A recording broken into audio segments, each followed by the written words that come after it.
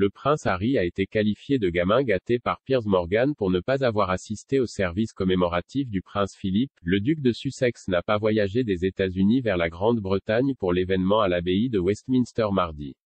La reine a fait preuve de détermination alors qu'elle assistait au service commémoratif malgré ses récents problèmes de mobilité, mais le diffuseur au franc-parler Piers Morgan a critiqué Harry pour son absence de l'événement en l'honneur du duc d'Édimbourg.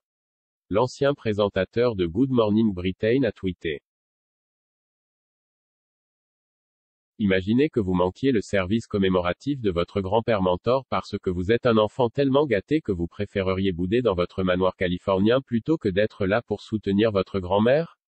C'est honteux. Harry et Meghan Markle sont restés à Montecito, où ils vivent avec Archie, deux ans, et Lily Bay, neuf mois, plutôt que de revenir pour l'événement. Cela survient alors que le duc est mêlé à une dispute juridique avec le ministère de l'Intérieur au sujet de la protection policière de sa famille au Royaume-Uni.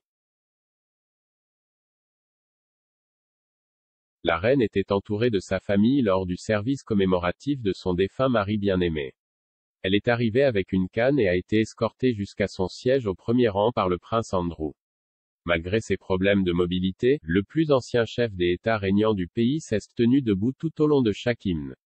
La reine était sombre en écoutant attentivement l'hommage touchant du doyen de Windsor au remarquable Philippe. Lors d'une lecture de la Bible par Dame Sarah Mullally, doyenne des chapelles royales, la monarque a été vue en train de se moucher dans un mouchoir.